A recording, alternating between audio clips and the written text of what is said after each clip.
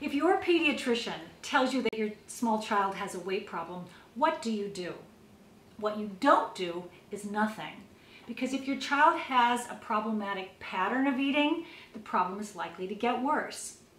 On the other hand, you don't want to create a new problem like a cycle of dieting or an eating disorder, which could happen if you harangue the child and micromanage what they're eating and tell them to eat less. That doesn't work. It just makes the child feel bad and the parent realizes isn't working and they feel helpless. What you do do is you recognize the division of responsibility and who's in charge of what.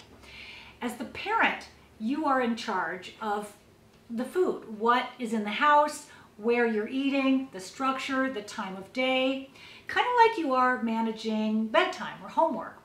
Now the child's responsibility is to determine how much and what they will eat from what you provide. Okay, sounds great, right? Let me give you some tips. The first thing you want to do is no harm. So you want to instill rules of, of no teasing from other siblings, uh, no diet talk or weight talk, no dieting from the parent, and no dieting from the child. What you want to do is teach, set the child up to self-regulate. Because if you are providing them with high fiber foods that have protein and healthy fats with plenty of water and vegetables, they will be able to self-regulate. They will learn that, and that is, is very much the key. Secondly, you want to get rid of the junk in the house. So get rid of any sweetened beverages like juice or soda or lemonade or Gatorade and instead focus on milk or unsweetened milks and, uh, and water. Now, you do have to be flexible. So let's say your child is, is craving some flaming hot Cheetos. You can stop at the market and pick up one small package on your way home.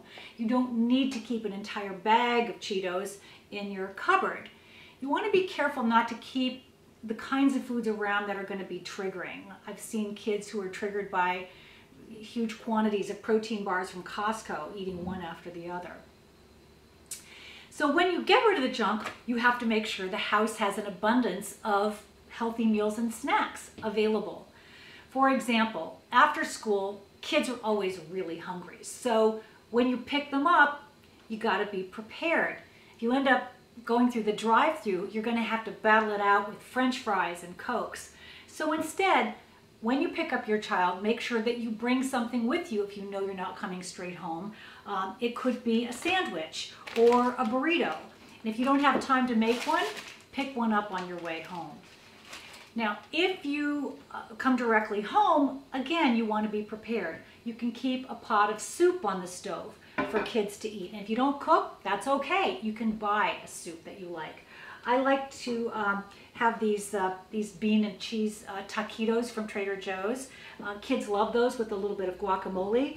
I like, I like to keep a variety of frozen things on hand. I keep these chicken pot stickers and we uh, brown them and steam them and serve them with some frozen peas that are microwaved.